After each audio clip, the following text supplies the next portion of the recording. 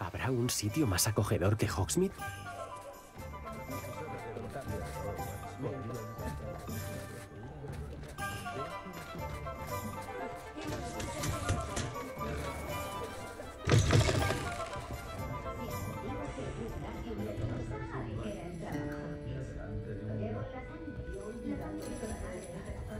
Por aquí. Supone un cambio respecto a nuestra última salida. No me lo recuerdes. Solo con pensar en esa tienda me hierve la sangre. He estado pensando en esos pobres dragones del recinto de lucha. Los collares que llevaban parecían de plata de los duendes. Creo que un collar es justo lo que encontramos en el campamento de los furtivos.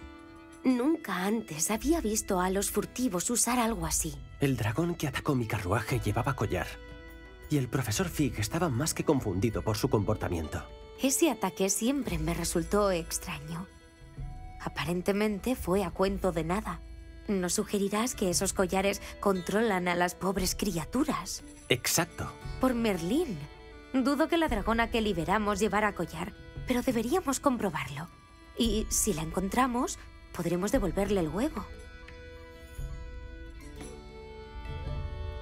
Es una buena idea. Tenemos que terminar esto. Me pondré a ello de inmediato. Hay... hay otra cosa que quería hablar contigo. No había querido hacerlo antes. Parece que te he causado más problemas con Victor Rookwood. ¿Por qué va a por ti?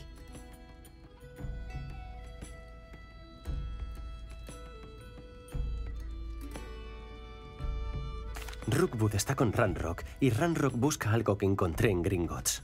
Fig tenía un traslador que nos llevó allí después del ataque de la dragona. Es una larga historia y Fig no quiere que la cuente todavía. ¡Cielos!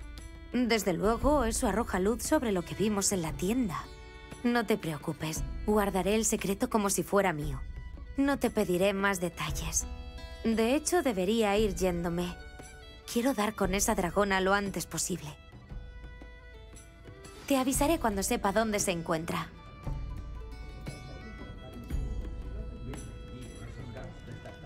Los parroquianos no paran de hablar del troll al que derrotaste en el círculo del poblado. Los dejaste patidifusos.